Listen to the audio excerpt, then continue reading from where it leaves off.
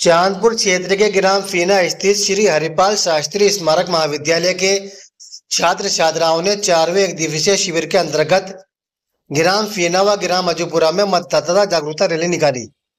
Rally राष्ट्रीय सेवा योजना के कार्यक्रम अधिकारी दिलीप कुमार और पीयूष वर्मा के नेतृत्व में निकाली गई। स्वयं सेवियों ने डोर टू डोर जाकर ग्रामीणों से लोकसभा चुनाव में शत प्रतिशत मतदान करने की अपील की।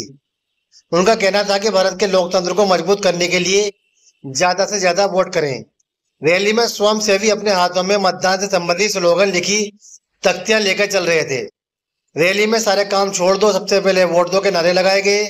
रैली का उद्घाटन कॉलेज के प्रबंधक अशोक कुमार शास्त्री ने हरी झंडी दिखाकर किया।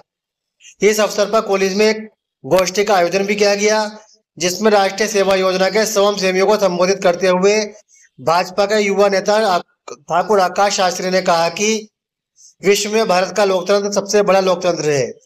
हम उस लोकतंत्र का हिस्सा है। हमारा कर्तव्य है कि अधिक से अधिक मतदान करने के लिए मतदाताओं को जागरूक करें। कॉलेज प्राचार्य डॉक्टर अशोक कुमार ने भी स्वयं सेवियों से अधिक से अधिक मतदान करने के लिए प्रचार प्रसार करने की अपील की।